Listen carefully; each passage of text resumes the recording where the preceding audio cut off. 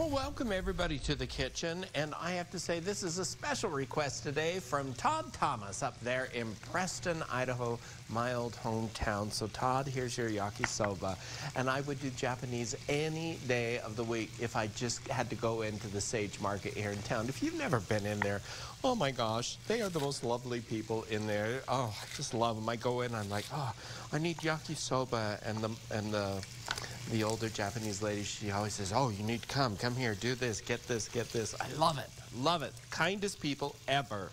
So anyway, I have my carrots here. This is just a little zester, and it peels and zests all at once. It's the greatest thing. Maybe, you know, with Christmas around the corner, if you want one, you can find them on Amazon and ask Santa Claus if he'll bring you one. And so it's just kind of an easy way to actually zest up a carrot or any style of root vegetable to go in any dish that you're making. It's kind of fun.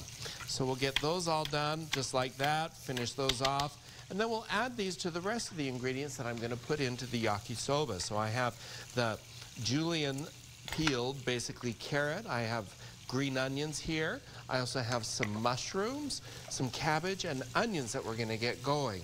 While the chicken is over here, this is boneless chicken thighs I've just cut up and add it into there, letting those cook. I want to show you how to make the sauce. It's so easy to make for this. You can buy it if you want to, but all it is is ketchup, Worcestershire sauce, little soy sauce, and oyster sauce mixed together.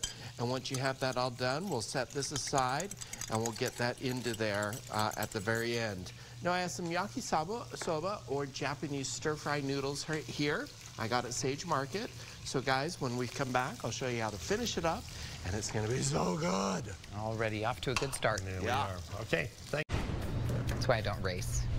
I just, if I run, it's for fun or something's chasing well, me. You know, if yeah, you're racing like a spider. back to the kitchen, it would be Ron Bird chasing you. I'm That's true. All right, let's finish this up here. So here's the sauce that we made earlier with the oyster sauce, the Worcestershire soy sauce, ketchup, Oh, I can't remember if I got everything in there, but I'm going to add that to our stir fry now.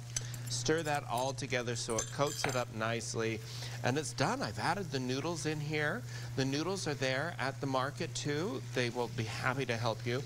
I just really enjoy them. I've had several of you send me messages on Instagram since the first segment.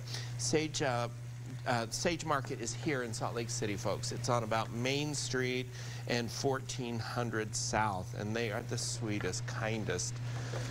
Japanese in general are just so kind.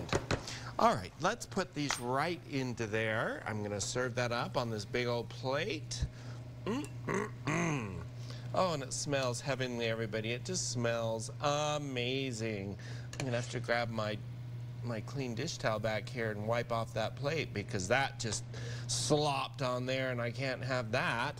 And there's that there. And then just kind of wipe the plate off so it's not all messy in that. And to finish it off, I'm using, this is just dried seaweed. I got this there as well. I'm going to sprinkle that over the top and then top it off with just some pickled ginger so that it's beautiful and tasty and, oh, Oh, so delicious. And there you have it, folks. An amazing yakisoba, which is so easy to make. It's a perfect thing. You can switch out ingredients, you know, vegetables, meat, whatever you want to do. Head on over to KUTV.com grab the recipe or to cookingwithchefbryan.com. And if you happen to go into Sage Market, you tell them Chef Bryan said hello. Good plan. It's so sweet if you haven't ever been there, guys. I haven't. So if you say that, do you get your 50% off? Discount. Uh, no. No. Maybe one person. Maybe. Maybe. Okay. All right.